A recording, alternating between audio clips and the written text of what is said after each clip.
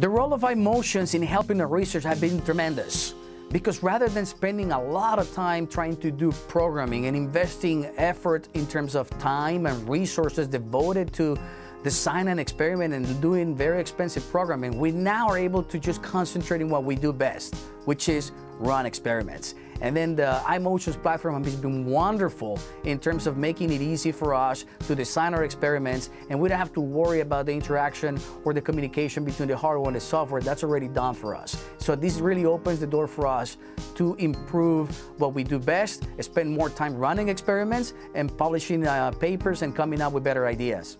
One of the things that iMotions has helped us a lot with is that we are now able to bring out some of these things into the field where we've been been using uh, the eye trackers uh, to actually capture what are people looking at when they come into a shop. Uh, do they see specific things?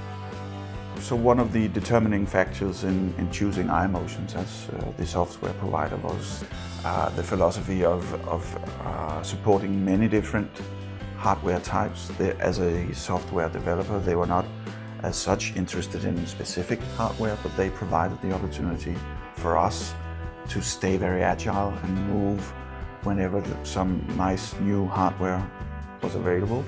We were able to follow that and still use iMotions. We have EEG over here. We have galvanic skin response over there. We have facial expression encoding. We have eye tracking. And all that data is being collected separately. And what iMotions allows us to do is it allows us to integrate that essentially into one stream. And it lets us sync together all of the different biometric sensors and neuromeasurement devices that we have so that we can get multiple readings from a single participant to really delve into their mind to see what they think and feel about the things that they're seeing or the products they're using. IMotions is extremely responsive. Uh, I think that's one of the key successes in terms of maintaining this long-term uh, and embarking on a long-term collaboration between researchers and a company such as iMotions. Having iMotions is helping us get stuff done more efficiently and that's something we want to do because we want to be as productive as possible.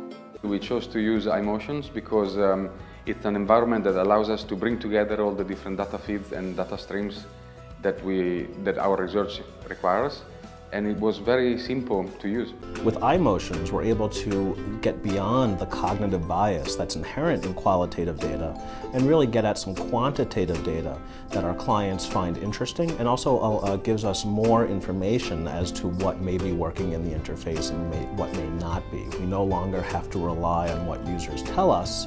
We can, we can take a look at what their body is telling us.